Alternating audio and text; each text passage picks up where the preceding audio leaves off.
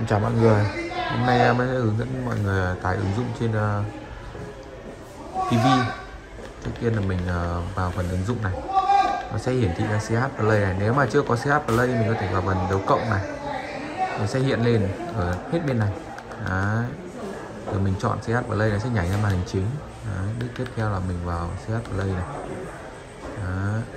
Xong mình vào tìm kiếm này ví dụ như cái VTV Go nhá mình uh, tải mình có chữ VTV đấy, Go. Đấy sau đó vào phần tìm kiếm enter đấy. Đây mình tải sẵn rồi khi mà mình uh, bấm cài đặt mình mở ra mình quay lại mình mở.